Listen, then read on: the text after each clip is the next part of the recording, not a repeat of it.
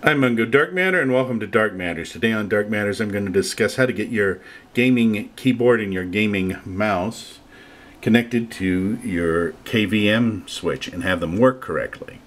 Now the problem that a lot of gaming mice and a lot of gaming keyboards and a lot of advanced keyboards and advanced mice have with KVM switches is many KVM switches uh, do not support two-way communication through the keyboard and the mouse USB ports on the switch itself.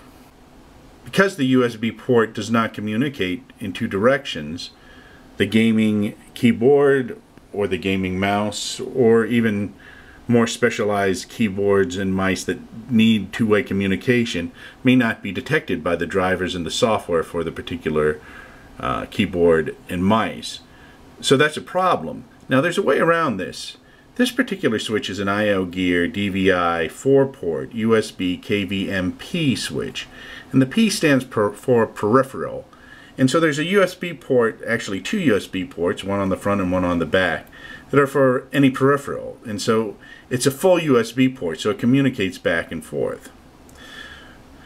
So what I was able to do was I got a two-port USB hub and I connected the mouse and the keyboard into it and I connected it into the back USB peripheral port on this particular switch. And now both are detected by the software.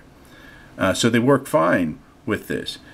The only caveat on it in this particular switch you'll see there's a green light here and a bright yellow light. If I hit this button once the bright yellow light goes over which means it's switched the keyboard and the monitor but the green line has stayed because that's the peripheral. So you have to make sure that you move the peripheral over first.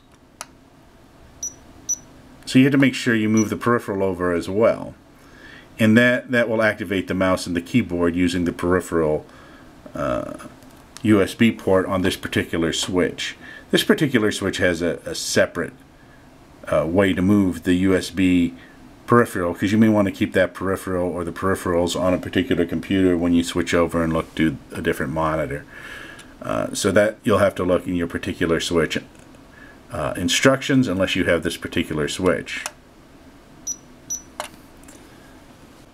So that's how you get a gaming keyboard or a gaming mouse or both to work with a KVM switch. Now you may have to experiment on your particular switch uh, to see if things vary. But just make sure you get a switch that has a separate peripheral port on it that will communicate two ways.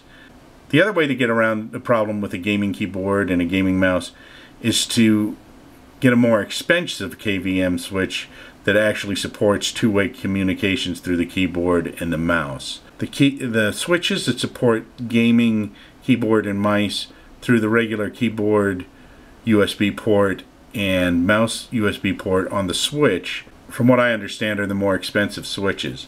So the workaround is to just ensure you have a switch that has a peripheral USB port that has two-way communication in it.